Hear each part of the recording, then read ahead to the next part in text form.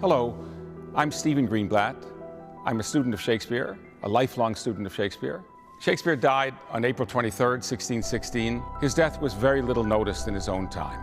But now, 400 years later, all over the world, people are remembering Shakespeare in libraries and theaters, in universities and schools, acknowledging what he left to us, loving and caring for it.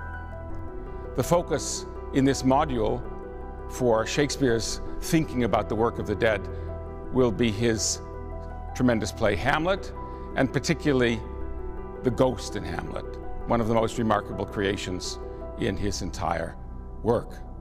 That ghost comes back and brings an obligation, a message to his son that changes his son's life and changes everything. We'll consider the ghost in the theater, the ghost as he's meant to surge up on the stage. We'll think about the ghost and about ghosts as they function in the world of Shakespeare and the social and religious world of his time.